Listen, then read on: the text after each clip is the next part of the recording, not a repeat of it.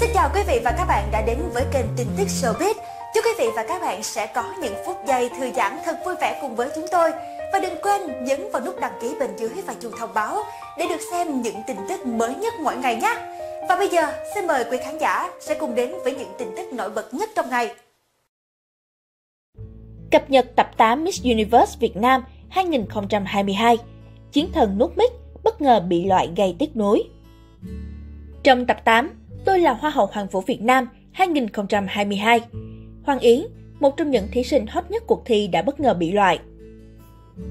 Tập 8 với chủ đề Shine Your Light mang đến cho các thí sinh Hoa hậu Hoàng vũ Việt Nam 2022 có cơ hội được trình diễn trên sàn diễn thời trang chuyên nghiệp, nằm trong khuôn khổ cuộc thi Hoa hậu Hoàng vũ Việt Nam 2022.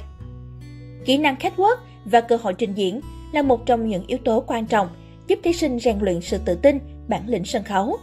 Đây vừa là cơ hội, vừa là thử thách để các thí sinh ghi điểm và giành lấy những lợi thế nhất định trong chặng cuối của cuộc thi.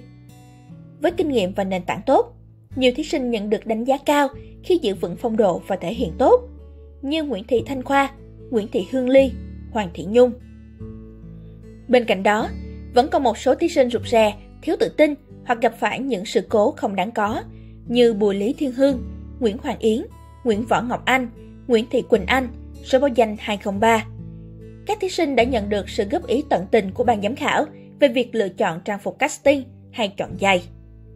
Với bộ sưu tập của Hoa hậu Khánh Vân và nhà thiết kế Rian Võ, ba gương mặt first face được lựa chọn là Hoàng Như Mỹ, Nguyễn Thị Thanh Khoa, Đỗ Trịnh Quỳnh Như và ba gương mặt vedette gồm các thí sinh Hoàng Thị Nhung, Nguyễn Thị Hương Ly, Lê Hoàng Phương, Kết thúc phần đêm diễn ấn tượng Vina Woman Fashion Show, 10 thí sinh xuất sắc nhất với phần thể hiện tốt nhất đã gọi tên để bước vào phần thử thách tiếp theo. Cuối cùng Hương Ly, người có nhiều năm kinh nghiệm làm người mẫu, đã giành chiến thắng. Hương Ly đã giành chiến thắng nhờ lối khách quốc ấn tượng. Hoàng Phương cũng là thí sinh có phần thể hiện tốt. Về phía các thí sinh bị loại, khán giả bất ngờ khi Hoàng Yến, người từng được vé vàng của cô Xuân Trang, phải dừng chân sớm ở cuộc thi. Trong phần ứng xử, câu trả lời của Hoàng Yến bị đánh giá là không mới mẻ và không đúng trọng tâm. Ngay sau khi tập 8 kết thúc, khán giả đã thể hiện sự tiếc nuối trước màn loại Hoàng Yến.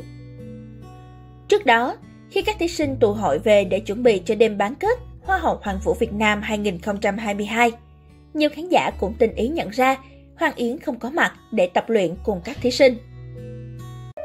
Xin chân thành cảm ơn quý vị và các bạn đã quan tâm và theo dõi video.